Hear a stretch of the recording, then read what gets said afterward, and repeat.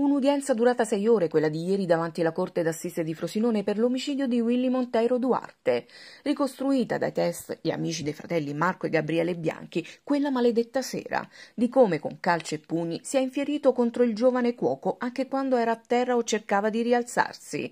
La frase di un testimone che ha riecheggiato nell'aula è stata che Willy è stato colpito alla testa come si calcia ad un rigore, e qui è stato tirato in ballo Belleggia, l'unico dei quattro imputati ad aver collaborato con gli inquirenti per la ricostruzione dell'accaduto.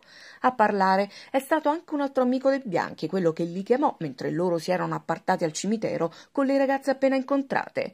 Ho visto arrivare Marco Bianchi, ha detto a velocità. Si è buttato in mezzo alla mischia, tirando calci e pugni, e l'ho visto sferrare un calcio a Willy. Il giovane ha proseguito e è caduto a terra. Poi ho intravisto Gabriele colpire un altro ragazzo che era là e Belleggia caricare un calcio. È stato ascoltato anche il consulente Giovanni Bartoloni, esperto di arti marziali, che ha visionato le lesioni sul corpo della vittima, confermando che sono stati proprio i colpi inferti da chi ha aggredito il giovane di Paliano a provocarne la morte.